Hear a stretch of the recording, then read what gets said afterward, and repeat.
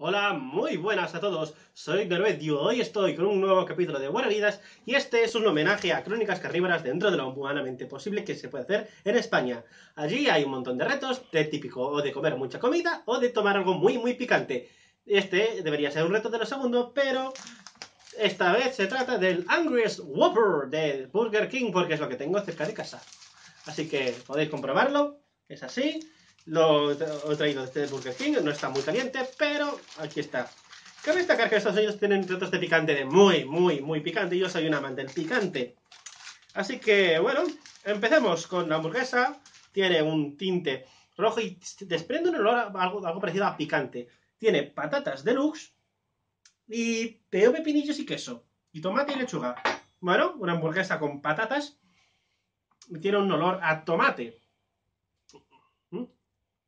un de queso. Así que supone que esto tiene salsa picante en el pan. Ahí en nada, que no es, fácil hacerlo. Y es una edición limitada, así que... Bueno, la buena de las ediciones limitadas es que no van a ver, al menos en comida. Así que... Mm, te veo patatas y... Ah, espero que esto pique algo. Así que... A por ello.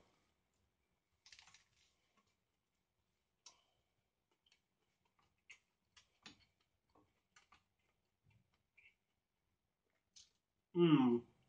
El picante está muy, muy, muy bajo de picante. Sí, esto no pica nada. Vamos a ver Burger King. Pone que sea picante. Tiene que ser muy picante. No noto picante. Me quiero notar picante. Quiero que me queme la boca. Punto. Es lo que se busca con un reto picante. Estoy notando algo de picante, pero es insignificante.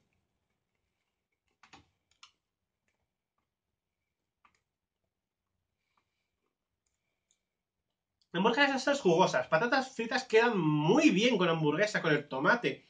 Todo junto queda muy bien. Pero no sería nada. Esto básicamente eh, sería una dieta blanda para Rickman. No pica, pica es una ligera molestia, no es que realmente necesites beber agua, ni necesites beber leche, no. Simplemente es un regusto picante.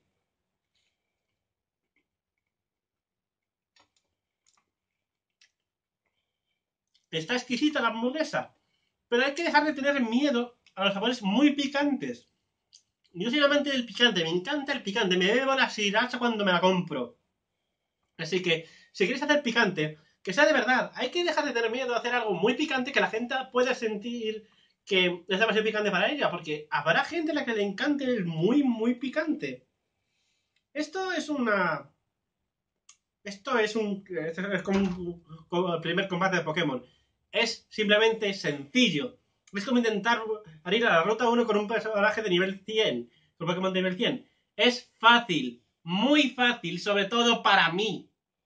Así que está rico, pero no es picante.